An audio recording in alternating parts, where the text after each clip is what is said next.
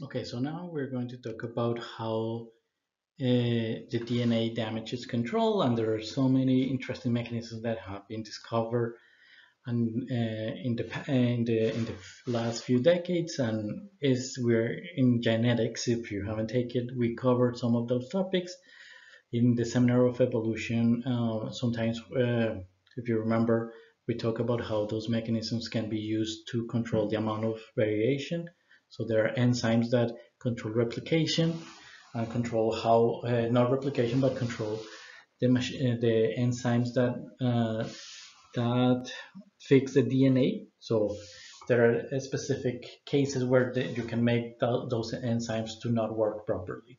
But but let's let's give you a very general perspective of that. That this is another way in which if you have mutations in those proteins that correct the DNA damage, the mistakes in DNA replication, this is another way in which uh, cancer can appear. So let's start.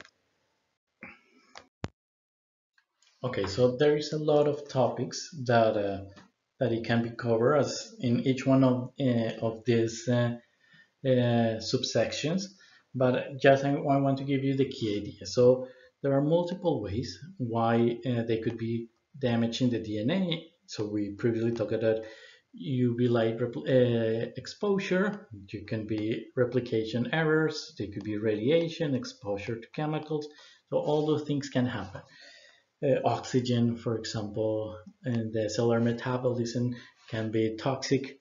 So it's very important and uh, that the DNA is repaired, and this is why you have this DNA damage repair pathway. So this way is D from DNA damage and the R from repair. And you have an entire uh, set of proteins involved uh, on doing that. So you have DNA sensors, DNA, uh, D, sorry, DDR sensors, DDR transducer, and DDR mediators and effectors. Okay, so um, the sensors recognize the damage in the DNA, while and the and they initiate a cascade of event that uh, in which uh, you have involved these DDR transducers. So this one sends and they, they send a signal that later it will activate the mediators and then uh, the most important part here is you have this molecule that we talked last time, uh, P53, super important, that is involved in uh, correcting all these problems, DNA repair, cell cycle arrest, apoptosis, and senescence. So, so uh, again, this is a more complex process that I'm telling you, but I'm just giving you a little bit of information, and I want that you remember this. This uh, P53 is key for the DNA repair, yeah, and there is a complex machinery that it has been discovered that allow us to repair the DNA.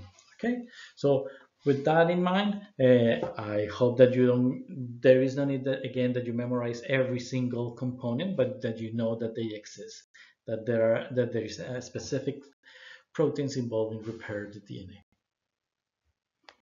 So, and just to remind you, the activation of this uh, specific protein machinery uh, trigger a, a, cellular response that, as we talked uh, in the previous slide, allow the DNA repair, that allow the checkpoints, that allow the senescence and the tolerance to less uh, lesions, so all the things that we saw here. And these depend on different genes, yeah, if you're homozygous or heterozygous for those genes. And it has been found that different genes, yeah, can uh, stand different amount of uh, damage.